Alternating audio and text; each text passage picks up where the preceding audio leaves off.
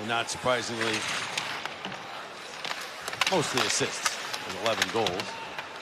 He's such a smooth player, though, isn't he? Just so calm and, and so productive. More contact. Greer. Here goes there comes Deslauriers after Greer. He's had enough.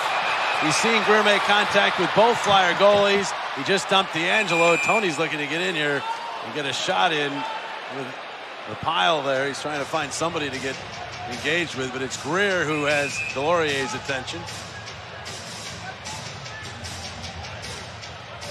I mean, Deslauriers was coming Yeah, full flight a, across the That's ice. a B line for a guy wearing a big B on There the front of his jersey. And Deslauriers not at all happy with Greer.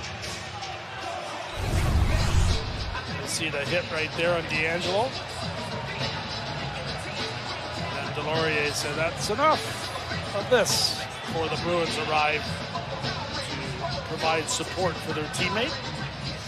Some big boys on the ice right there. Here's the hit by Greer. And DeAngelo's response, or Deslauriers's response. I think that hit by itself doesn't get that response. It's what's happened earlier. in the game. 100%, yeah. No, that's for the others. Cumulative from the hits on both Flyer netminders.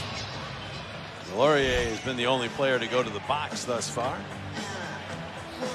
Wry smile on his face. Now Greer is going to the box.